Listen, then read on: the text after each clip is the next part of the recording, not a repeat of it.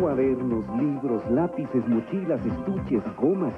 Pero, ¿son necesarios? Revisa tus útiles del año pasado y cuida tus gastos. Mejor usa la goma y borra de la lista los útiles e inútiles. Consulta antes con los módulos Profeco. La Profeco, más cerca de ti.